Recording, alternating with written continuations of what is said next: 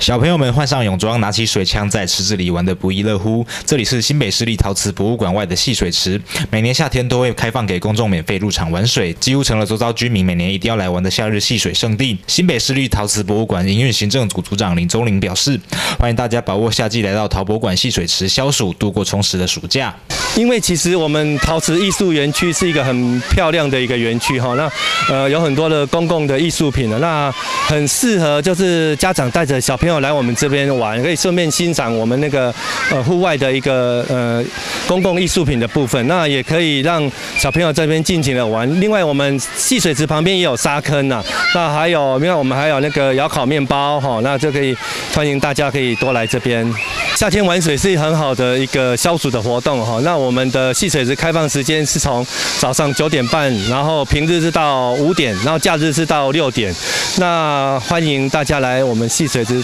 呃，家长可以带着小朋友来我们这边玩水。李宗林表示，对于水质及安全都有完善的控管，每周一及周二都会固定清洁保养，确保小朋友们都能够在干净的水池里游乐。水位高度约莫二十公分，让各年龄层的孩童都可以在水池活动。同时，他也呼吁来戏水的民众不要站在水池。中间的球形装置艺术，避免有跌落的状况。嗯，我们这边都有呃都有保全哈，会在这边巡视，然后还有展场人员。另外，我们这附近呃也有一些 AED 的设置，还有包括一些医呃医药箱等一些急救的必要的措施等。那就是如果有任何问题的话，可以找我们现场的保全或展场的服务人员这样子。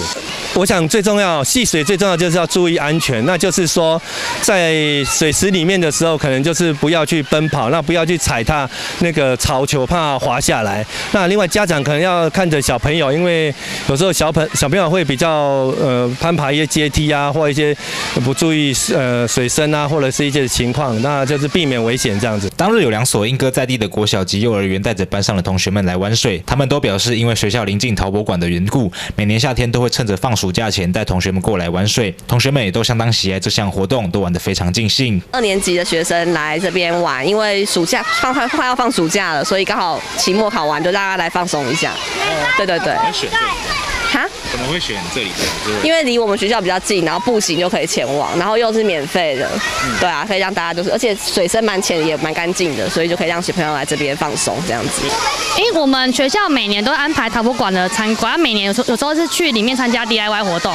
然后有时候是在那边玩沙玩水。那在陶博馆规划一系列活动，可以让小朋友待很久这样。然后假日的时候，我们会请家长来这边参观啊，他们来玩水。哼，那陶博馆是一个非常老少咸宜的地方。陶博馆戏水池即日起免费开放到十月十号，每周三至周日九点三十分至十七点，假日则延长到十八点。馆方也呼吁民众避免让孩童在池畔中攀爬、奔跑或推挤，亦不可乘坐重压池内的陶瓷球体。在休息区铺野餐垫共享休憩时光时，也请留意，请勿挡住通道，请市民朋友们一起维护环境清洁，享有干净又安全的休闲环境。